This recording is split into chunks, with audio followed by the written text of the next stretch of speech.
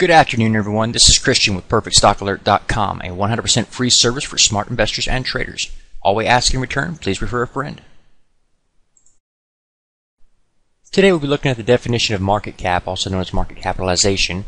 Market capitalization is the total dollar market value of all of the company's outstanding shares. Market capitalization is calculated by multiplying all of the company's outstanding shares by the current market price of a single share. Investors use this figure to determine a company's size.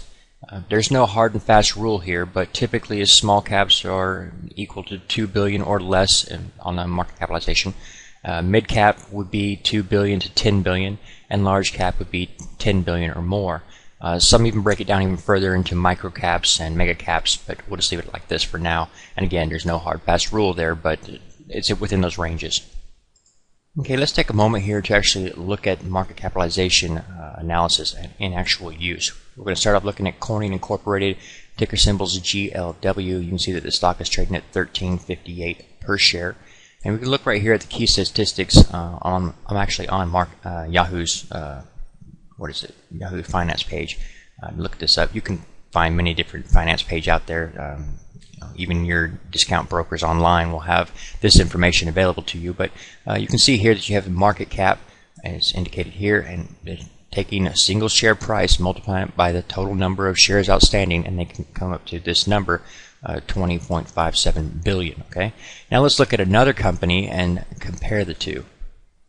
Okay, here we are looking at AVX Corporation, ticker symbols AVX, and you can see that the stock is one cent lower. The stock is traded one cent lower than the previous uh, on Corning, so 13.57. Like I said, one penny less.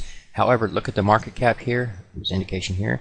You see it's only 2.3 billion here. It's about a tenth the size of Corning. So that gives you some idea that uh, how to use market cap. It actually compares the two. You can get a, a size reference between the two companies when share price alone cannot give you that. Okay, so now you know uh, how market cap is calculated and what you can do with it. You can compare different companies and, and get a, an idea of the size. In this particular case, we're looking at one that's roughly a small cap uh, versus the previous one, Corning, we were looking at was a large cap.